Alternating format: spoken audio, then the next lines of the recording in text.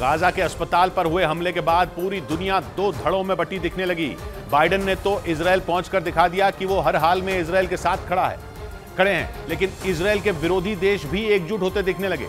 Biden के दौरे से ठीक पहले गाजा के अस्पताल पर हुए हमले के कारण मुस्लिम देश बुरी तरह भड़क गए। यहाँ तक कि जॉर्डन और फिलिस्तीन जैसे देशों ने भी बाइडन से मिलने से इनकार कर दिया। जिसके लिए वो जॉर्डन जाने वाले थे, लेकिन अस्पताल पर हुए हमले के बाद मुस्लिम देशों के निशाने पर इसराइल के साथ अमेरिका भी आ गया। बाइडेन अपने इसराइल के दौरे के बाद जॉर्डन जाने वाले थे।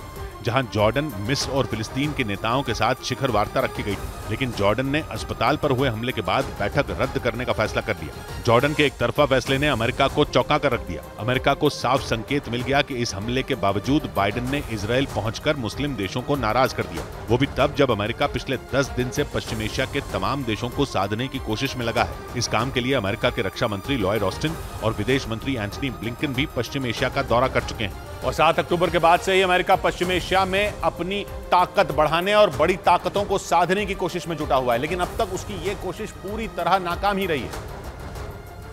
जिसमें सबसे बड़ा झटका तो उसे सऊदी अरब ने दिया। Crown prince Mohammed bin Salman से मिलने के लिए अमेरिका के विदेश मंत्री एंटनी ब्लिंकन सऊदी अरब पहुँचे थे। लेकिन ब्लिंकन के साथ सऊदी अरब के क्राउन प्रिंस ने ऐसा बर्ताव किया जैसे बिना कुछ कहे ही सब कुछ कह दिया। खबर है की एंटनी ब्लिंकन को क्राउन प्रिंस ऐसी मिलने के लिए पूरे 24 घंटे का इंतज़ार करना पड़ा। सऊदी अरब पश्चिम एशिया के सबसे ताकतवर मुल्कों में एक होने के अलावा सुन्नी मुस्लिम देशों का लीडर माना जाता है। यानी सऊदी अरब की नाराज़गी ऐसी अमेरिका को बड़ा झटका लगा।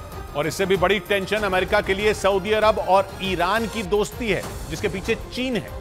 दोनों देशों के बीच दोस्ती करवाकर चीन पश्चिम एशिया में अमेरिका को बड़ा झटका दे चुका है। जिसकी वजह से अमेरिका पहले से बैकफुट पर है। ईरान एक शिया मुस्लिम मुल्क है और सऊदी अरब एक सुन्नी मुस्लिम मुल्क है। दोनों के बीच की दुश्मनी पश्चिम एशिया में अमेरिका की मौजूदगी की बहुत बड़ी वजह थी। सऊदी अरब को अपनी सुरक्षा के लिए अमेरिका की ज़रूरत थी। सऊदी अरब और यूएई में अमेरिका की फौज ने अपने कई बड़े अड्डे तक बनाए थे। और जैसे ही सऊदी अरब और ईरान की दोस्ती हुई, अमेरिका की तो ज़रूरत ही खत्म हो गई। ऊपर से कच्चे तेल के अंतर्राष्ट्रीय कारोबार में भी सऊदी अरब ने अमेरिका को झटके देना शुरू कर दिया। यानी अमेरिका को कूटनीतिक झटका भी लगा और आर्थिक झटका भी लगा। और वो भी ऐसे वक्त पर जब उसे पुराने और पक्के सहयोगियों की सबसे ज़्यादा ज़रूरत थी क्योंकि पश्चिम एशिया में अमेरिका को इसराइल और हमास की जंग की वजह से झटका नहीं लगा बल्कि रूस और यूक्रेन की जंग के दौरान ही पश्चिम एशिया की बिसात बिछ गई थी। जिसमें रूस और ईरान की दोस्ती ने अमेरिका को बैकफुट पर धकेल दिया था। ईरान ने अपने खतरनाक ड्रोन और मिसाइलों की सप्लाई रूस को की तो सऊदी अरब ने कच्चे तेल की कीमतें बढ़ाने में रूस की मदद की।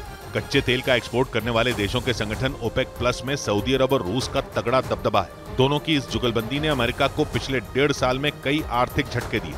मतलब ये कि पश्चिम एशिया की दो बड़ी ताकतें, सऊदी अरब और ईरान, अमेरिका को झटका देते हुए रूस के साथ दोस्ती निभाने लगी। यूक्रेन जंग में जिस वक्त अमेरिका और यूरोप मिलकर रूस को घेरने में लगे थे, उसी वक्त सऊदी अरब और ईरान रूस की ताकत बने रहे। रही सही कसर तब पूरी हो गई जब सऊदी अरब और ईरान के बीच की दूरियों को चीन ने मिटा दिया। लेकिन अमेरिका के खिलाफ बन रहा ये गठजोड़ तब पूरा हुआ जब इसमें चीन और उत्तर कोरिया भी जुड़ गए। दक्षिण कोरिया की तरफ़ से दावा किया गया है कि हमास के लड़ाकों को हथियार देने में उत्तर कोरिया का हाथ था। और वही उत्तर कोरिया रूस को भी हथियारों की सप्लाई कर रहा है। उत्तर कोरिया के तानाशाह किम जोंग उन पिछले महीने ही रूस के दौरे पर गए थे जहाँ दोनों देशों के बीच कई बड़े समझौते हुए थे। उत्तर कोरिया और रूस के रिश्तों के साथ ये तय हो गया कि अमेरिका के खिलाफ रूस के गठजोड़ में रूस चीन ईरान सऊदी अरब और उत्तर कोरिया के अलावा पश्चिम एशिया के ज़्यादातर मुस्लिम देश शामिल हैं। इन देशों के पास न तो हथियारों की कमी है और न ही आर्थिक रूप से शक्तियाँ कमज़ोर हैं। सऊदी अरब और ईरान के पास कच्चे तेल का भंडार है तो रूस ईरान चीन और उत्तर कोरिया के पास खतरनाक हथियारों का भंडार। है यही वजह है कि अमेरिका पश्चिम एशिया को साधने में अपना पूरा दम लगाता दिख रहा